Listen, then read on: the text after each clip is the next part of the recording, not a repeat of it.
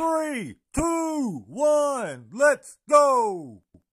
What's good, my beautiful channel family? Today is Wednesday, February 21st. It is another day the Most High has made. This is your brother Adam with the Watchman Adam News Channel, back with the latest end time news. Family, let me start the video by saying thank you. Thank you for tuning back in with us today. You guys are awesome, and we love you guys. And before we get to this video, could you give it a thumbs up and make sure you got that notification bell turned on? That way you'll be notified every time we upload an End Times video. Now family, while we're an End Time News channel, the ultimate mission of our channel is to point you to our Creator, the Most High God, and His Son, Jesus. And nothing demonstrates God's love for us more than John 3.16. For God so loved the world that He gave His only begotten Son, that whosoever believeth in him should not perish, but have everlasting life. And family, that son's name is Jesus, and he's coming back for his church soon. And family, that's facts. Now to today's End Times video. Okay, family, got a very important video today. I'm going to ask if you can, stick around to the end so all this information can come together. And if you feel led to, please share this video and help get this information out. Okay, family, today, once again, we're going to be looking at the upcoming solar eclipse that will happen on April 8th, 2024. And I'm going to share with you something that is truly amazing. Family, on so many levels, this is going to be a prophetic event. Okay, let's start by looking at this end time headline from the website endoftheamericandream.com that was published on February 19th. On April 8th, the Great American Eclipse of 2024 will cross over seven United States locations named Nineveh. Now, family, I don't know what the odds of that are, but guys, that is very intriguing. We will get back to that, family, but let's start by going back almost seven years to August 21st, 2017, and the last total solar eclipse we saw here in the States. Well, family, that eclipse was also known as the Seven Salem Eclipse because the path of the eclipse crossed over seven U.S. locations named Salem. Salem, Oregon, Salem, Idaho, Salem, Wyoming, Salem, Nebraska, Salem, Missouri, Salem, Kentucky, and finally, Salem, South Carolina. Now, Salem is short for Jerusalem, and it's thought that's why so many early Americans chose that name for their communities. Now, family Salem is also associated with witchcraft, especially in the early years of the United States of America. And don't forget, the Satanic Temple is located in a city named Salem.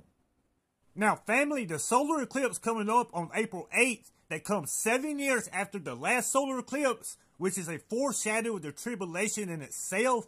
Well, what if I told you it will pass through seven cities in America named Nineveh?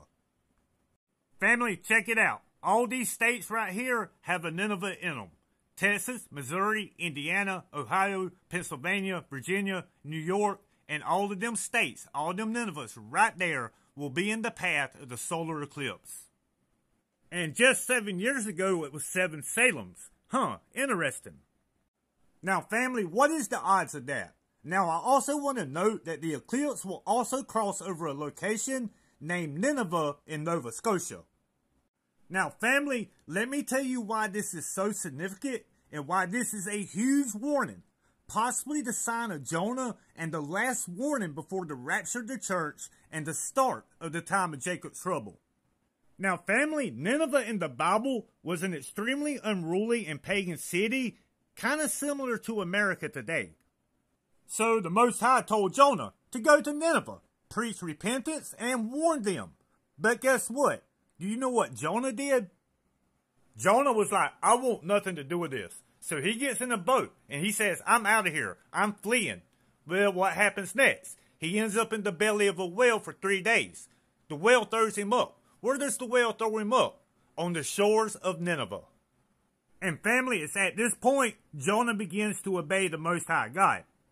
Jonah 3 4 says this On the first day of his journey, Jonah set out into the city and proclaimed, 40 more days and Nineveh will be overturned. So you see, Jonah obeyed God and tells Nineveh to repent before the Most High God deals with the city. And Jonah prophesies to them they have 40 days to repent. And Nineveh repented, and for the time being, God spared them. They heeded to Jonah's warning. Well, family, what if I told you there was a total solar eclipse over Nineveh as Jonah gave the 40 day warning? So, back in the 19th century, ancient tablets were discovered that describe what is known as the Bur-Sagale solar eclipse. Now, the path of totality of that eclipse went right over Nineveh, and a lot of people believe that eclipse coincided with the day Jonah gave the 40 day warning. But Jonah was in Nineveh when that eclipse happened. That particular solar eclipse showed Nineveh that Jonah was a prophet of the Most High God and wasn't joking, and it ultimately led to their repentance. Family, it's absolutely amazing how much America mirrors Nineveh. Family, this seven Nineveh solar eclipse here in the United States, I truly believe is a 40 day warning, just like the last one was a 40 day warning in the days of Jonah. But Nineveh repented, and they were spared for a little bit. Will America repent? That is the question. The sign of Jonah is coming, and it's a 40 day warning. Now, family, if this eclipse is a 40 day warning from the Most High God, that means that the warning will expire on May 18th, 2024, the day before Pentecost, which is Sunday, May 19th, 2024. Now, family, what is the odds of that, guys? I'm telling you, that's significant. That's not a coincidence. You know, the Holy Spirit come down on Pentecost. Could the church go up on Pentecost after the 40 day warning? Hmm. And family, don't forget, these two solar eclipses, seven years apart, make aleph tav over the United States of America, which literally means beginning and end. That's not a coincidence either, family. Family, in the comment section below, I would really love to hear your thoughts on this video. And interestingly enough, May 18th is also International Astronomy Day. I didn't even know that existed. But do you guys think that this eclipse could be the sign of Jonah and a 40 day warning for the United States of America? Family, a lot of stuff going on with this eclipse. It enters the country at Eagle Pass, Texas, which is ground zero for the whole immigration issue right now. It makes an X of the United States of America. The seven Salems, the seven Ninevehs, family, none of this is by chance at all. This eclipse also coincides with the ending of Ramadan and it's going to be one of the largest viewed events ever here in the United States of America. Millions of people are going to have their eyes on that eclipse, watching God's sun be darkened out. Is this the sign of Jonah? Is this a 40 day warning for the United States of America? At the end of them 40 days, at Pentecost, could that be when we meet our Lord in the air? Let us know in the comment section below.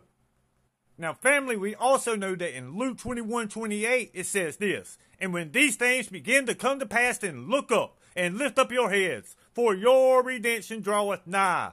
What things, family? Things like solar eclipse, earthquakes, everything we're seeing go on in this world right now that we're living in. So, my beautiful channel family, this is why we keep on looking up, because we know our Messiah has not forgotten us. You know, Jesus was born of a virgin and lived a sinless, perfect 33 years. At the age of 33, he laid down his life for us on the cross, paid our sin debt on the cross, took nails in his hand, thorns on his head, took a beating, spilled his perfect, innocent blood for us. And then he laid in a tomb for three days, three days, three days. But death could not hold our Messiah. He defeated the tomb, he defeated the grave, and he ascended to go be with his Father, the Most High God. And he's coming back for his church soon. If you don't have a personal relationship with Jesus, today could be your day of salvation. Believe the gospel of Jesus. The Most High is faithful and just. He will forgive you your sins. And family, that's facts. Don't waste no time because Jesus is coming soon.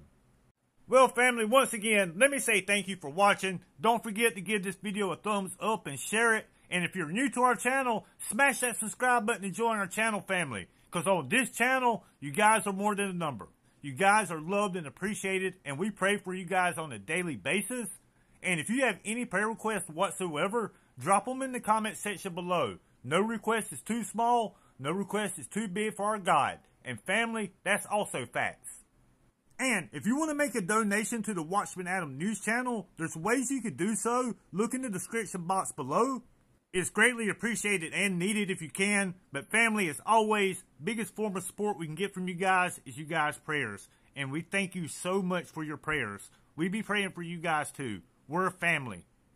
And family, if anyone has any praise reports, please drop them in the comment section below. We did that the other day and it really touched my heart reading your praise reports. So if you got any, drop them below. And family, I'm going to try to have an end time news update done tomorrow, so be looking out for it.